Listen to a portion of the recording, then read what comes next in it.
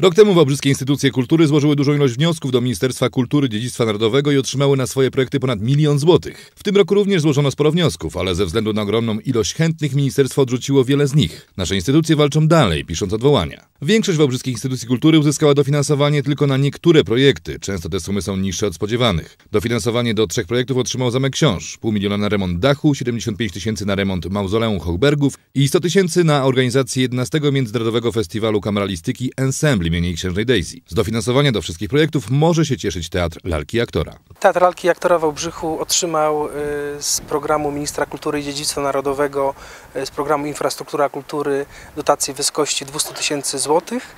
Y, czekamy na decyzję gminy Wałbrzych, pana prezydenta, jaki otrzymamy wkład własny i mamy nadzieję, że uda nam się zrealizować większość zadań, które były wpisane do projektu. Jedno z zadań, bus teatralny jest właśnie w trakcie finalizacji. Na pewno teatr wymieni nowe fotele teatralne dla wygody naszych gości i widzów i uda się doposażyć w sprzęt oświetleniowo-dźwiękowy. 85 tysięcy złotych dofinansowania na fanaberię teatralnej teatralną dekonstrukcję otrzymał w tym roku Teatr Dramatyczny. Teatr złożył w sumie 5 wniosków i tylko dwa zostały przyjęte. Jak mówi dyrektor Don Tamarosz, w tym roku bardzo duża liczba wniosków z całej Polski została odrzucona przez ministerstwo, nawet na festiwale, które od wielu lat cieszą się renomą wśród widzów. Teatr będzie się odwoływać w sprawie książki, która ma powstać z okazji 50-lecia teatru. Odwoływać się będzie także Wałbrzyski Ośrodek Kultury, który złożył dwa wnioski pierwszy na zakup wyposażenia Wałbrzyskiego Ośrodka Kultury, Techniki Nagłośnieniowej, Oświetleniowej, a także sprzętu komputerowego. Wnioskowaliśmy o kwotę około 158 tysięcy złotych, natomiast otrzymaliśmy 100 tysięcy złotych.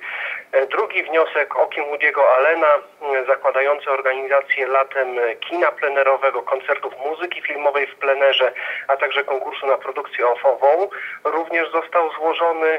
Wnioskujemy o przyznanie nam kwoty około 100 tysięcy złotych. Wałbrzyskie Muzeum złożyło do Ministerstwa Kultury dwa wnioski na inwestycje i oba zostały odrzucone. Jeden to wniosek o 600 tysięcy na kontynuację remontu dachu, którego środkowa część została odnowiona w zeszłym roku. No niestety nie uzyskaliśmy dofinansowania, ale odwołanie jest w toku. Mam nadzieję, że że skutecznie. I drugi wniosek, na którym bardzo nam zależało, bo to był taki duży wniosek na e, prace remontowe po pierwsze, taką najważniejszą część tego wniosku stanowiła wymiana okien stolarki okiennej w całym budynku i e, no jeszcze dalsze prace remontowe tutaj we wnętrzu, remont dziedzińca, także to był dosyć duży wniosek na ponad milion złotych.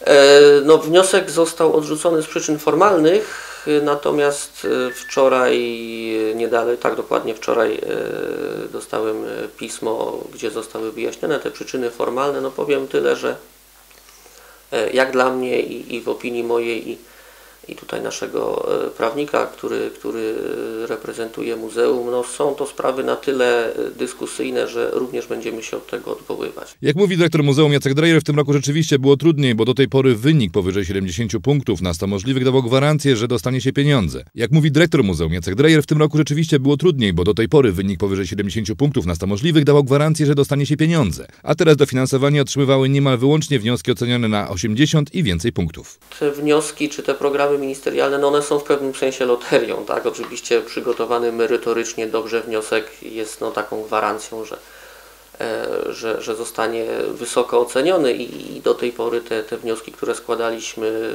no, zazwyczaj otrzymywały takie całkiem, całkiem e, pozytywne i, i dobre oceny. Natomiast jeżeli chodzi o wnioski tegoroczne, Yy, priorytet ochrona zabytków było bardzo, bardzo dużo yy, wniosków złożonych. Biblioteka pod Atlantami złożyła w tym roku pięć wniosków na łączną sumę 324 tysięcy. Również wszystkie zostały odrzucone, a dotyczyły kampanii promującej czytelnictwo, projektu związanego z czytelnictwem osób niewidomych, unowocześnienia działów zbiorów audiowizualnych, zakupu nowego sprzętu i upowszechnienia dziedzictwa wielokulturowego Wałbrzycha. Dyrekcja biblioteki odwołuje się we wszystkich pięciu decyzjach i ma nadzieję, że jak rok temu pieniądze jednak otrzyma. Wyniki odwołań mają być znane w marcu.